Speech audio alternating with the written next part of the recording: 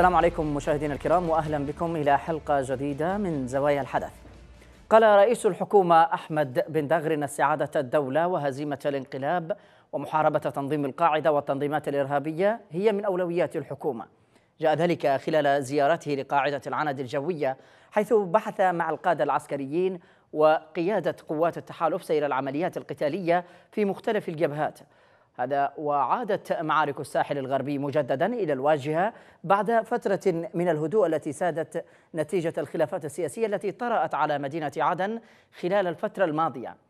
مشاهدينا نتوقف عند هذه التطورات لنناقشها في محورين، هل يمكن القول بأن الشرعية بدأت مرحلة جدية من الصحوة؟ وهل يمكن القول أيضا إن هناك نوعا من التفاهمات مع أطراف في التحالف من أجل استكمال مرحلة التحرير؟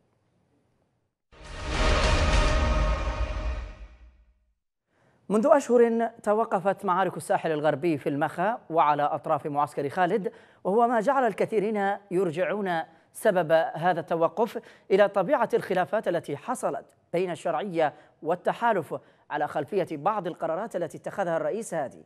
الآن وفي ضوء التحركات الأخيرة للشرعية يبدو بأن نوعا من التفاهمات قد تمت وهو ما سينعكس بدوره على عملية الحسم حسب مراقبين. قبل البدء بالنقاش والتعرف أكثر على طبيعة الأحداث نذهب مشاهدينا لمشاهدة هذا التقرير. ومن ثم نعود. ابقوا معنا. رئيس الوزراء أحمد عبيد بن دغر في قاعدة العند. واحدة من الزيارات النادرة التي يقوم بها قادة الشرعية لثاني أهم قاعدة عسكرية في البلاد. الزيارة شملت جبهة كرش التي توقف عندها الجيش منذ أكثر من عامين وسط تساؤلات عن دوافع التوقف في جبهة الحسم الأهم في المعركة الشاملة ضد الإنقلابيين.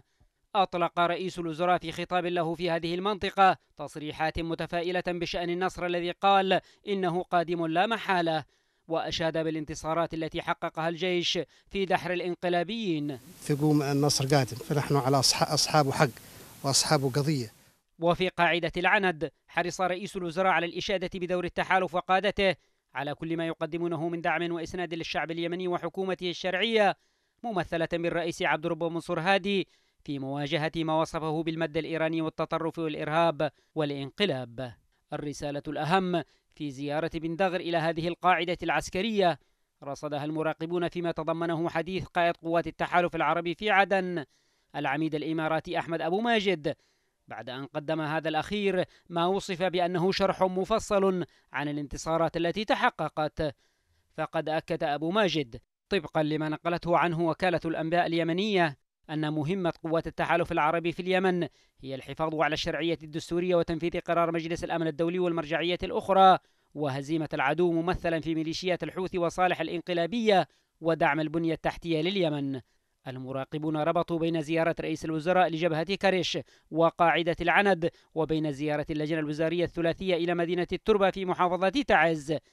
وعبروا عن أمنيتهم بأن تتجاوز هذه التحركات الأهداف التكتيكية الدعائية إلى تأكيد الحضور الغائب للسلطة الشرعية في المناطق المحررة على نحو يعيد الثقة للناس بجدوى التدخل العسكري الأكبر في تاريخ العرب. أكد بأن تعز أصبحت اليوم إذا مشاهدينا نبدأ النقاش وينضم إلينا من العاصمة الأردنية عمان المحلل السياسي عبد الناصر المودع. سيد عبد الناصر مساء الخير.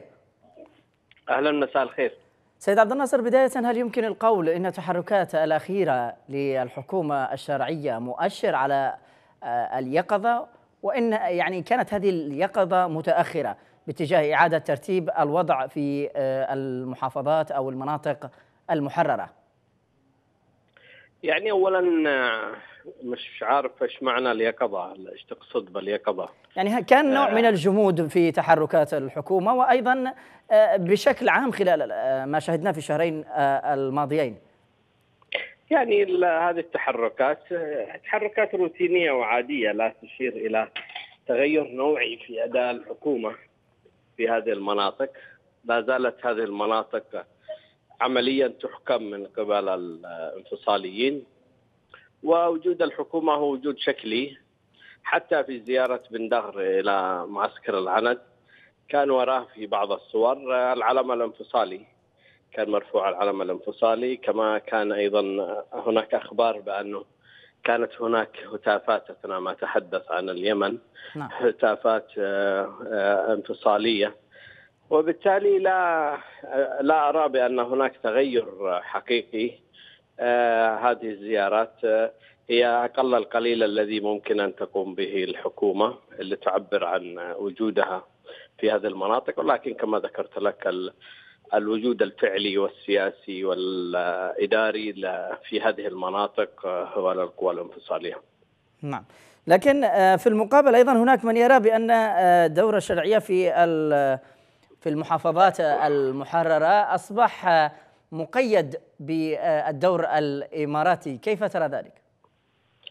هو مقيد بشكل عام من البداية. الحكومة وجودها وتحركاتها محكومة بمن يسيطر على الأرض ومن يسيطر على الأرض هي القوى الانفصالية. وهذه القوى الإمارات لها نفوذ واضحه عليها. ومن ثم فوجود الشرعية هو وجود رمزي في أفضل الأحوال نعم. لا يمكن أن يكون لك وجود حقيقي ما لم تكن أنت الطرف المسيطر والطرف الذي يصدر القرارات والطرف الذي ينفذ له الأوامر نعم. أما إن لم تكن تمتلك هذه الصفات وهذه الوظائف فوجودك ووجود لكن كيف يمكن أن تخرج الشرعية من هذا المأزق التي وضعت نفسها فيه؟ يعني الشرعية هذه الشرعية هي وضعت البلد في مآزق وليس في مازق واحد لو كنا على مازق واحد كان مش مشكلة. الحكومة هذه السلطة هذه أوجدت الفراغ وأي حيثما حلت يحل الفراغ. الفراغ الفعلي للدولة بمعناها المؤسسي بمعناها الفكري بمعناه السياسي. ولهذا ليس ليس هناك من خطوة واحدة تصحيحية لأننا لا نتكلم عن خطأ في خطأ في في السلوك ولكن الخطأ هو خطأ منهجي. بمعنى أن المنهجية كلها خاطئة وبالتالي ليس هناك انحراف عن عن أمر طبيعي. نقول بانها على الحكومة أو على هذه السلطة أن تصحح هذا الانحراف. لكن إذا كان المنهج كله خاطئ في هذه الحالة الإصلاح لن يكون إلا إصلاح جذري. والإصلاح الجذري يطال هذه السلطة لأن هذه السلطة أثبتت فشلها الكامل منذ توليها مقاليد الحكم في اليمن منذ خمس سنوات تقريبا أو أكثر. نعم. ابقى معي ساستكمل معك سيد عبد الناصر المودع. دعني أرحب بضيفي الآخر سينضم إلينا من لندن المحلل السياسي دكتور محمد جميح. دكتور مساء الخير.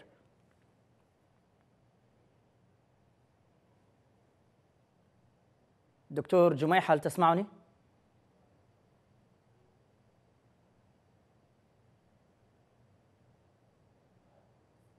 إذا يبدو أن الاتصال بدكتور جميح ليس جاهز حتى اللحظة سأعود لأستكمل مع الدكتور أو المحلل السياسي عبد الناصر المودع سيد عبد الناصر طيب إذا ما نظرنا للتململ هذا التململ في أداء الشرعية إلى أين يمكن أن يقود البلاد بشكل كامل برأيك؟ يعني سيقود البلاد ستستمر البلاد في حالة الفوضى في حالة الحرب وفي حالة انهيار الدولة. ليس هناك من أفق ما دمت ما دامت السلطة الشرعية لم تقم بواجباتها منذ البداية. سنستمر في هذه الفوضى وسنستمر في حالة الحرب. إلى ما شاء الله إلى أن يحدث تغير ما يحرف العملية عن المسار الخاطئ. نحن أخي العزيز نسير باتجاه خاطئ وبالتالي ما دمنا نسير باتجاه خاطئ. فلا نتوقع أن نتحرك نحو الهدف الصحيح. عندما تتحرك بالاتجاه الخاطئ فأنت تروح عكس الاتجاه الهدف الصحيح وبالتالي سنستمر في السير في هذا الطريق حتى يحدث تحدث هذه المراجعة الشاملة الكاملة لاداء لهذه السلطة وليس لأدائها، نحن لا نتحدث عن مشكله في الأداء لكن ولكن ما الذي تحتاجه سيد عبد الناصر؟ ما الذي تحتاجه الشرعية من أجل حسم المعركة وان يكون أن تكون بالوضع الطبيعي؟ لا لا أفهم ماذا تقصد بالمعركة، نحن أمام معارك كثيرة، معارك معاركها الكثيره بشكل عام، ما الذي تحتاجه هذه الحكومة لكي تصحح كل هذا؟ يعني كما ذكرت لك هذه هذا هو ادائها هذه السلطة هذا هو ادائها منذ البداية. ادائها هذا الرديء. الذي أوصلنا إلى ما وصلنا إليه. وبالتالي المشكلة هو فيها ليس ما عليها أن تعمله. ليس المشكلة خطأ معياري. نحن نتكلم عن خطأ منهجي. هذه السلطة الفاشلة ستستمر في فشلها إلى أن يحدث تغيير لهذه السلطة. هنا مربض الفرس أن المشكلة ستستمر ما دامت هذه السلطة التي لا أعتقد بأنها ستصلح أو أنها بعد أن أعطيت الفرص الكثيرة في ظروف مثالية وظروف أفضل بكثير من مقارنة بالظروف الحالية. لا أعتقد بأنها ستتحسن أو سيصبح ادائها أفضل لأنها قد ضيعت الفرص في ظروف في ظروف الازدهار فكيف هي الآن في ظروف الفوضى وفي ظروف التشتت التي تحتاج إلى كفاءة أفضل بكثير من الكفاءة العادية؟ يعني نحن نحتاج إلى إلى قيادة استثنائية في هذا الظرف ولا نحتاج إلى إلى قيادة أقل من عادية بمراحل. نعم. ابقى معي سيد عبد الناصر المودع. أرحب مجددا بضيفي المحلل السياسي الدكتور محمد جميح من لندن. دكتور مساء الخير. مساء النور. أهلا بك. دكتور دكتور بالبداية تحرك لرئيس الحكومة هو الأول منذ عودة المعارك في الجبهة الغربية. ما الذي يعنيه من مؤشرات وراء هذا التحرك؟ هو في الواقع يعني منذ أن عاد رئيس الوزراء إلى إلى عدن وهو يدرك في تصوري خطورة الوضع هناك وأنه يعني يكاد يسير في حقول من الألغام. يريد أن يتواصل مع الكل ويريد أن يتواصل مع المتناقضات ويريد أن يهدئ ويريد أن يعني أن يكون يشكل أرضية مشتركة إلى حد ما. وإن كان الجو العام في هذه المناطق لا أعني الجو العام الجماهيري وإنما أعني الجو العام الرسمي للسلطات الموجودة هناك. هو جو عام بعكس ما يريد بن دغر وبعكس ما تريد الشرعية بشكل عام. نعم. لكن الخطوات التي يقوم بها بين الحين والآخر التواصل مع بعض المسؤولين في التحالف، التواصل مع بعض القيادات المحلية في عدن، الخروج أمس إلى بعض الخطوط الأمامية في المواجهة مع قوات الانقلابيين هي خطوات شكلية لا شك يعني لا تحمل يعني أي عمق يمكن أن يؤسس عليه ولكن هي يمكن أن تعطي نوعا من البدء لأن لو أن مسؤولي الشرعية عندما ذهبوا إلى عدن بدأوا بالتواصل مع الآخرين بدأوا بالتواصل مع المؤثرين، بدأوا أيضا بالتواصل مع قوات التحالف بشكل عام، أنا أعتقد أن الأمر كان يمكن أن يكون على غير ما هو عليه الآن.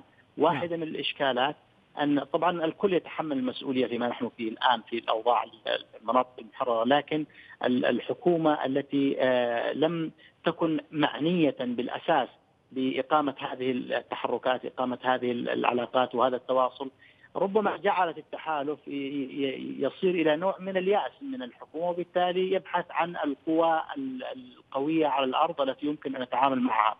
هذا إذا أحسننا الظن، أما إذا اسانا الظن فإن الجانب الإماراتي يسعى لأن يشكل قوة موازية للقوة التي ترى في الشرعية وفي الوحدة خيارا استراتيجيا وللقوى الإسلامية الأخرى التي ليس من قبيل إذاعة الأسرار القول بأن الإمارات لديها مشروع آخر مغاير للمشاريع التي تطرحها قوى الإسلام السياسي.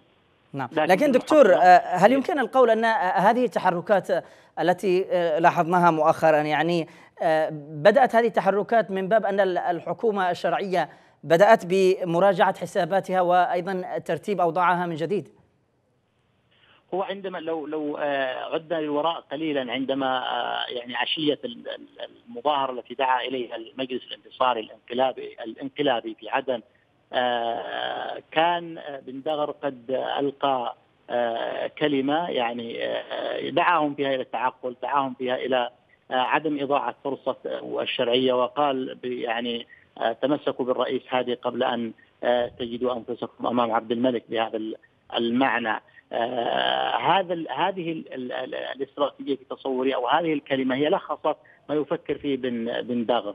آه من أن أي مشاريع جانبية أو أي جبهات جانبية هي تعني انتصار الانقلاب وبالتالي عودة الأمور إلى ما كانت عليه. نعم. آه هي وإن كانت بداية في تصوري لكنها ينبغي أن تتواصل وينبغي أن يحذو المسؤولون الآخرون الطريق نفسها من المحافظ وغير المحافظ آه، من أجل التواصل مع الناس من أجل أيضا محاولة حتى التواصل مع جهات الانفصال للوقوف على ما حقيقة ما يريدون يريدون لأن المشروع الانفصالي هو مشروع عدمي مشروع مستحيل نحن لا نقول ذلك لأننا نؤمن باليمن الواحد بل نقول ذلك حتى أن لو كنا من المؤمنين بمشاريع الانفصال فإن هذا المشروع عدمي ولا يمكن أن يقوم نعم. آه، لأنه يعني تشرذم الجنوب نفسه هذه حقيقة نعم.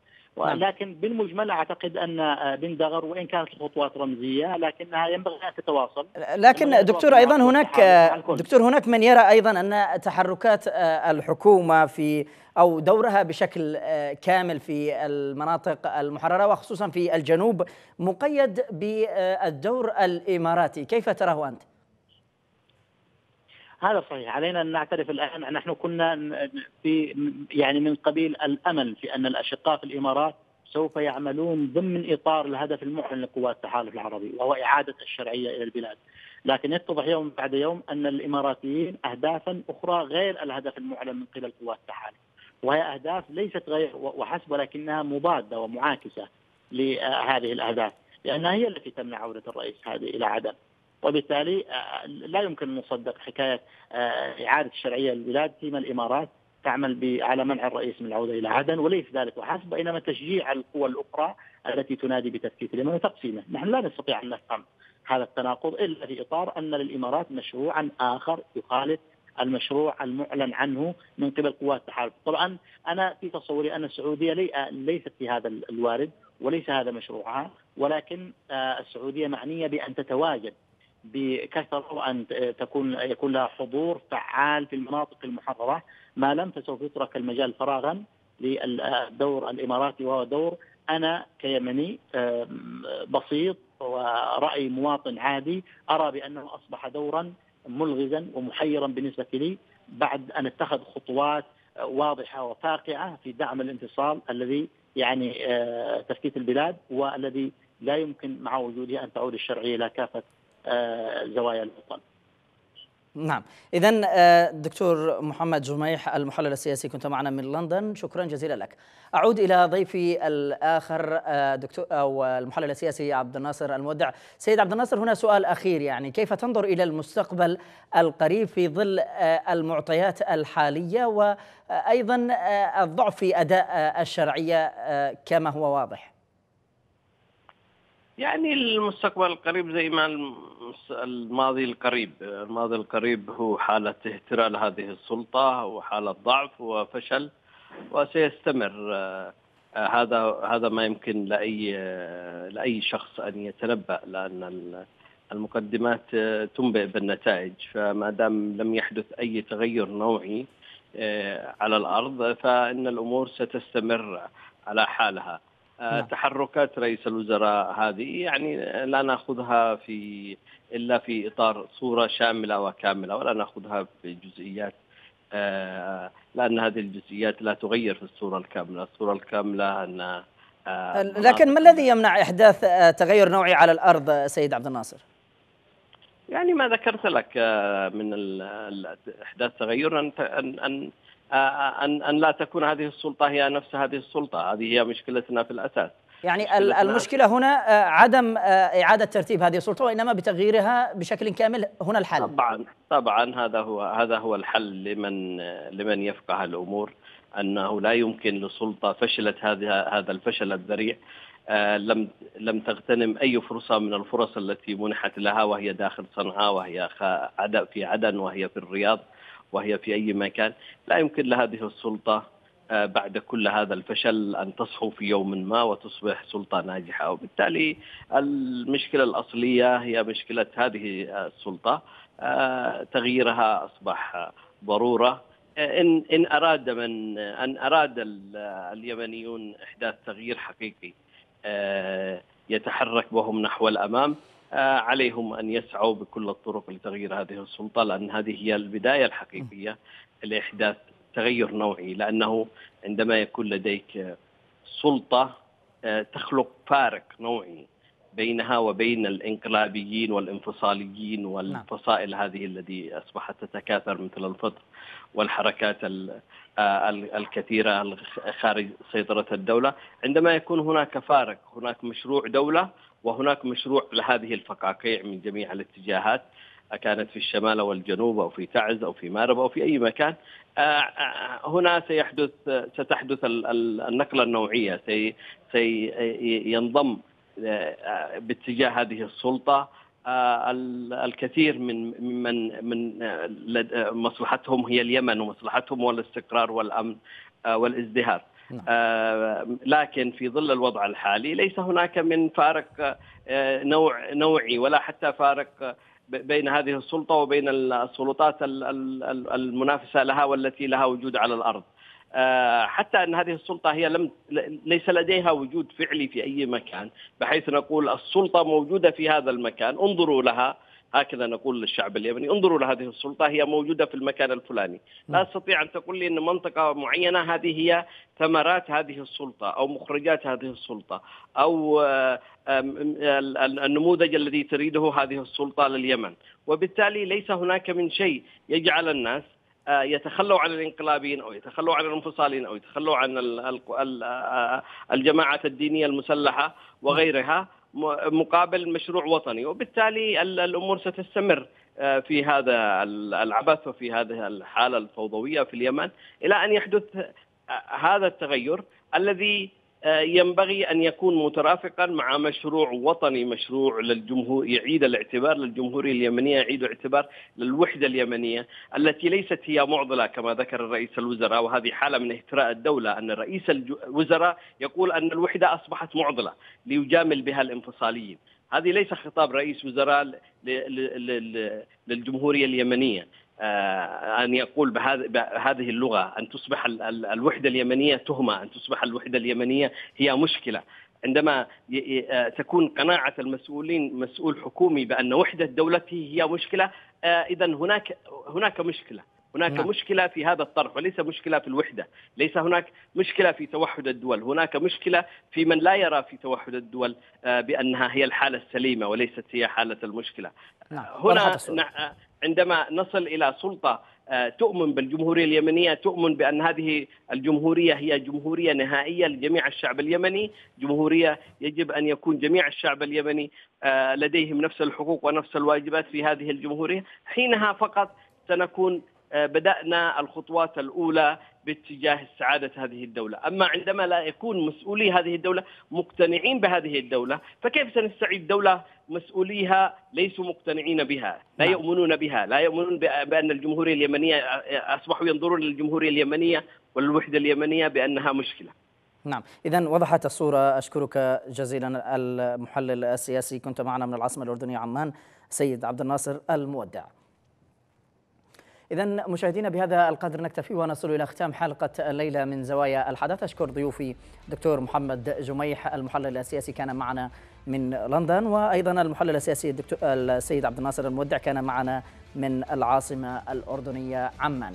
ختاما مشاهدينا تقبلوا تحياتي وتحيات معد حلقة الليلة الزميل ماهر أبو المجد وهي أيضا من جميع أفراد طاقم العمل. حتى الملتقى في حلقة قادمة أترككم في رعاية الله وحفظه.